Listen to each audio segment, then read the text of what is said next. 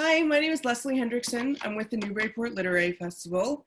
We are looking forward to our second day of programming on Sunday, May 3rd. We start at 9 o'clock, and we're going to be talking to Dyke Hendrickson, who has a new book out called New England Coast Guard Stories Remarkable Mariners.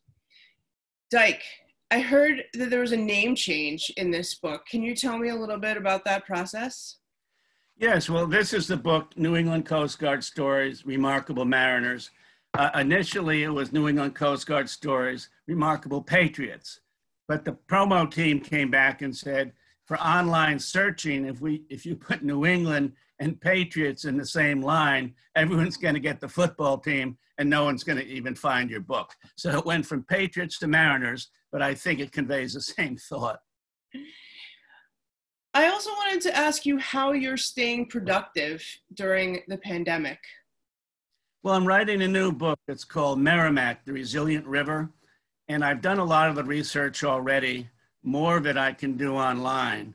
Uh, so I'm writing a thousand words a day, um, mostly in a historical fashion, because I can't go to archives right now. I can't go to libraries.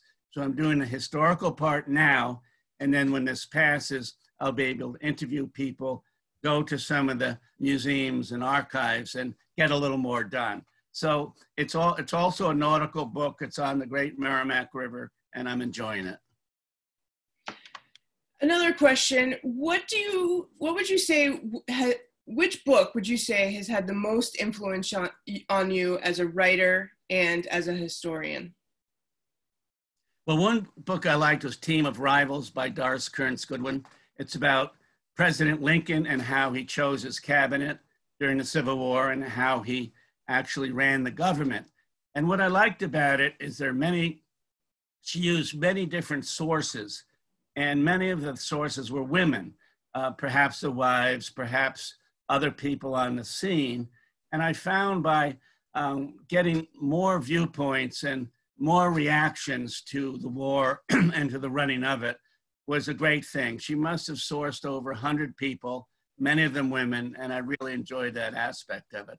And, you know, I've listened to it on tape, you know, at least a dozen times, and I learned something every time. So to me, that's um, a yardstick of a good book when you can read it again and learn more anew.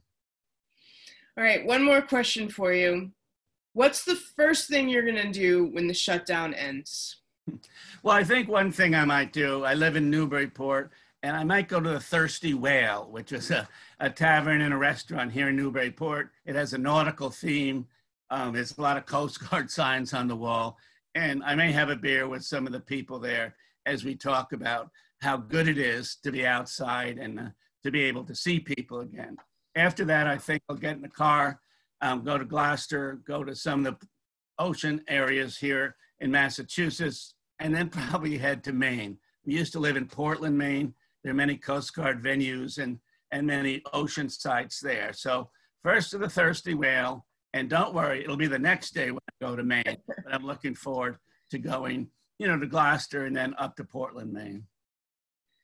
Great. Well, thank you so much for joining us. And we're looking forward to your presentation on Sunday, where you'll have slides and um, tell us more about your book, New England Coast Guard Stories. The Newburyport Literary Festival has a whole day of events on Sunday. We start at 9 o'clock. Please go to our website, newburyportliteraryfestival.org, for a whole lineup, and we hope to see you there. Thanks so much and take care.